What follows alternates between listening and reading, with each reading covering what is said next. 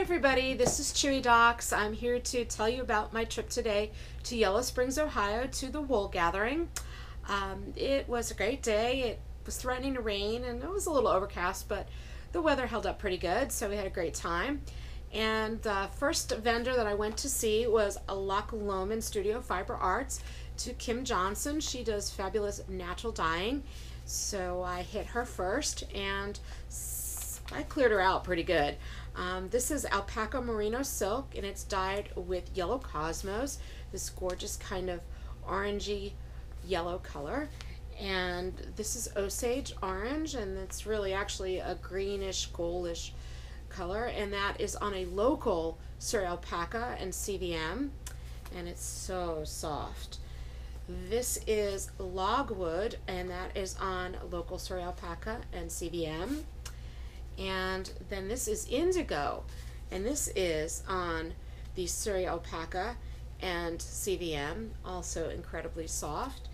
And then I got cochineal. I have cochineal on the alpaca and merino silk, and it's kind of a tomatoey red color. And then also cochineal, and this is on BFL silk, and this is a raspberry red color. They're kind of completely different. I guess the materials that it's used on and the pH of the water and just some different variables, maybe the mordanting, and uh, comes out completely different. So one is tomato red and one is raspberry red, both super soft and really squishy, and I love it. And then I went to Sheepish Creations and got some of this wonderful recycled sari silk. So I'm going to be doing some saori weaving, and this is going to be some of the contents of that saori weaving. This is a kind of a bright turquoise color.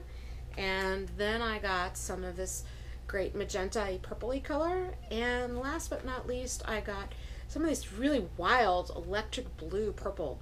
It's kind of a 1980s blue. I think I had a coat in this color at some point and it's really kind of fun and funky. And so that was from Sheepish Creations, the recycled sari silk. And then I got another Turtle Made Turkish spindle.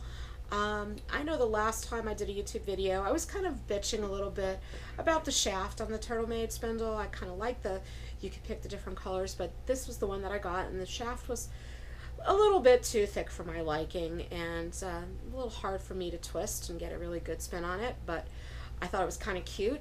Now I found that you can actually get a thinner, more petite shaft, and I really like this one a lot. I think the spin just spins a lot nicer. It's a little more comfortable. And this one has these wild uh, stripes in purple and green, which are my absolute favorite colors. So I take back all my bitching um, because I really like this one a lot. And you can get it with thinner shaft, and that is on Etsy.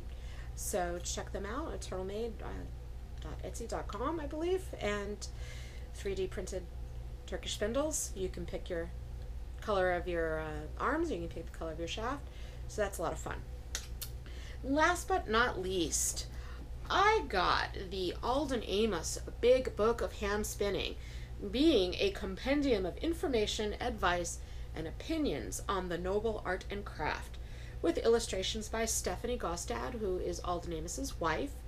And the first time I came in contact with this book was about eight years ago when I started spinning and um, it was full of information and a lot of opinions and i was a little overwhelmed. I just really it was too much. I didn't know what i knew and i didn't know what i needed to know and so i said nah, not for me and i put it down and really that was the end of that.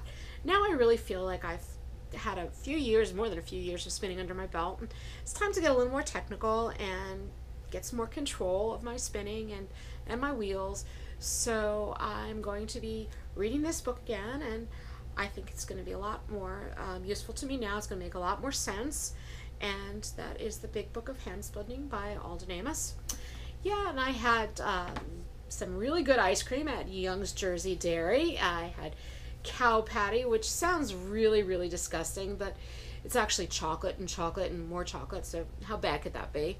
And some kind of caramelly, truffly thing, which was really tasty as well. And uh, had a good time and I came back with some money, which is amazing. I actually had some money left over. So, for being a, a superpower shopper and enabler, uh, it's a good thing to come back with some money. And thank you very much to Taxi Gary for taking me, and I hope to go back next year.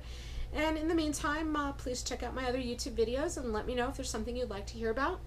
And keep spinning. Take care. This is Chewie Doc saying goodbye.